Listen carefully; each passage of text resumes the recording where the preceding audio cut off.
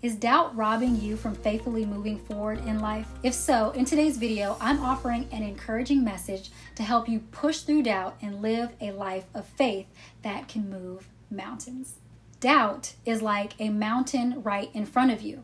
It doesn't make getting to your destination impossible, but it sure does make it much more difficult. As I'm moving forward with some new things the Lord is calling me to do, I've recently found myself facing doubt more than I would like to. Some of the things that I'm trying to accomplish, I've tried before and have not succeeded.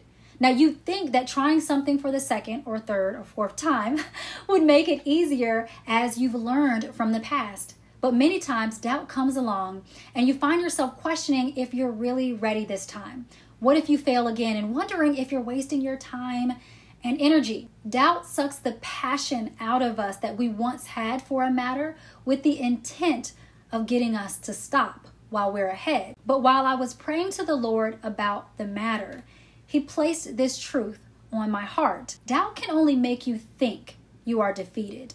Doubt is an opinion, it's not the truth. When the prophet Elijah knew that a three and a half year drought in the land was about to end, he called for his servant to go toward the sea to look for a sign of rain. We read about it in 1 Kings chapter 18 verses 43 and 44. And he said to his servant, "Go up now, look towards the sea." And he went up and looked and said, "There is nothing." And he said, "Go again." 7 times. And at the seventh time he said, Behold, a little cloud like a man's hand is rising from the sea. And he said, Go up, say to Ahab, Prepare your chariot and go down, lest the rain stop you. At Elijah's request, his servant went to see if there was any sign of rain. His servant came back and reported that there was nothing. And Elijah said, Go again. So the servant went, looked, and came back with the same report. Again, no sign of rain, no clouds, there was nothing. Still, Elijah sends his servant seven times to look for rain. Go again, he says. Now, let's put ourselves in the perspective of the servant. Can you imagine his potential frustration? Can you imagine the doubt he could have possibly incurred going back that many times with the expectation that nothing had changed because up until the seventh time, nothing had changed. See, if Elijah would not have sent his servant, I don't know that the servant would have went the second or the fifth or the sixth time. He very well may have stopped at the first report, never to see God's faithfulness fulfilled by the ending of this drought. This makes me wonder how many times we have missed God's promises fulfilled in our lives because we stop at the first report. We give up after the first try or the second try or the third. Our God is a promise keeper, but doubt will prevent us from seeing his faithfulness in our lives. Doubt will tell us to stop when we really need to go again.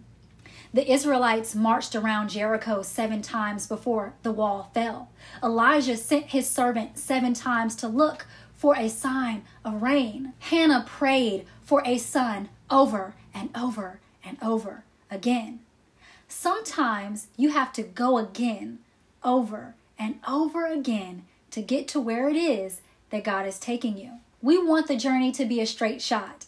But God is more concerned with working on our hearts than simply getting us to our desired destination on the shortest route possible. Sure, doubt is going to make you want to quit. The enemy will be right there in your ear telling you to give up on that marriage, give up on that dream, give up on that business, give up hope for that child, and the weight of serial failure will make you want to stop. But what if we're talking about something God called you to? What if we're talking about a promise of God? If it's experiencing the manifestation of God's promise in your life, then you have to go again.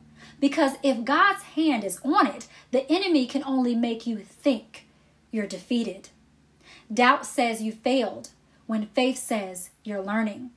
Doubt says you're wasting your time when faith says God is working it out in his perfect timing. Doubt says it won't work out. Faith says God is in control. Doubt says it's beyond repair.